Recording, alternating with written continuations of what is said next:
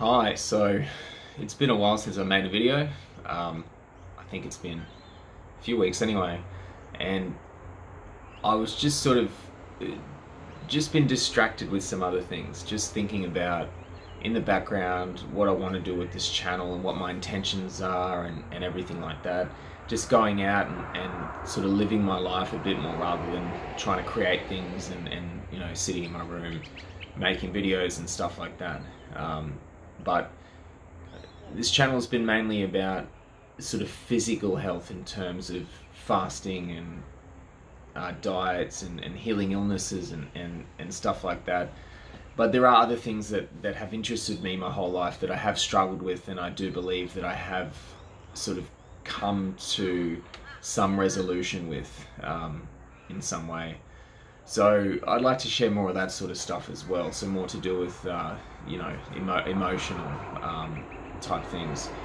So the reason for this video is that quite recently I have gone through a relationship breakdown that that um, was very difficult for me in in many ways, but something something throughout my whole life I have struggled with is is anger. Um, not necessarily some crazy violent outbursts of anger, but I remember ever since I was a kid, but probably more towards the teenage years, I started to just get more irritable and more just dissatisfied and, and you know, just subtly annoyed at things. And this this um, is a form of anger. It's just a, a, sort of a, I guess, a milder form. So you know, the, the the anger ranges from mild dissatisfaction right up until rage. And I mean, if you're a type of person that does experience dissatisfaction or irritation a lot, it, it I mean, it, it, can be all classes anger, in, in my opinion, anyway. So, when, when the relationship sort of ended, I um, was just angry, and I didn't really know why. I mean, it was pretty obvious why, uh, but I, I, I sort of understood very clearly what happened and what went wrong for both sides and there was just no real reason for me to be angry at this person. So what I started to do was just write. Um, so it was just writing from my point of view, writing my story, writing how I felt. And then this one day I just thought, you know what? What if I just pretend I'm this other person and just started writing from their point of view? Um, and what I what I literally did was I was just I was typing on the computer on my notepad and um, or even on my phone, and I was visualizing uh, me looking out of that person's eyes, and as though I was that person talking to me. So I would refer to myself as you, as though I was looking at myself.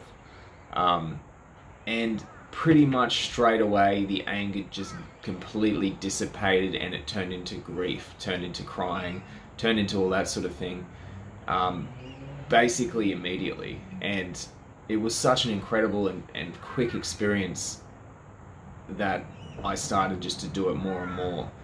Um, and what I find is that if, if it doesn't cure, if, if it doesn't fix the anger immediately, I just need to add more details. So what I started to do is, uh, for example, when, when I was a kid, um, because I, I, remember just being so angry at my parents for just doing really shitty things.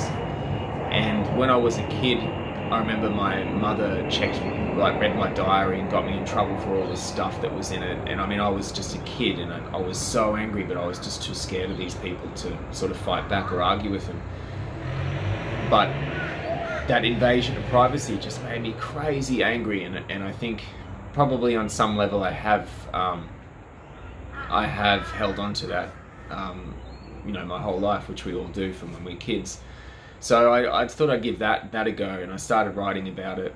Um, just started writing about it from my mother's point of view, um, and it didn't kill the anger straight away, but very quickly it started to, and, and it didn't straight away. And I kept adding more details to it. I just kept talking about you know, what she went through when she was young and, and what she was going through with me being sort of a sensitive and very quiet child and, and her being worried and, and just adding more and more and more details from her point of view.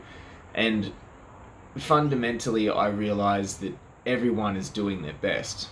And when you do exercises like this, you do start to see that there's really no option for people. They're just everyone's just dealing with their pain. Everything is a reaction to pain. So every action and all that sort of stuff is just their reaction to their own pain. And they're just doing their best, trying to protect their pain or trying to express themselves or trying to, you know, control or or even mitigate their own negative reactions and, and it's all it's all just this big expression of suffering or pain that they're holding on to. So the more information or the more details I added about her life and what she was going through with me, I just saw it so clearly. And again, I started to cry and just released so much stuff. And the anger was just gone so quickly. And it, and it sort of makes me think that the anger and the sadness that we hold inside or the this trauma that we haven't expressed is being sort of trapped there or held there by the anger and by the fear uh, the fear of releasing it, and, and the anger protects it.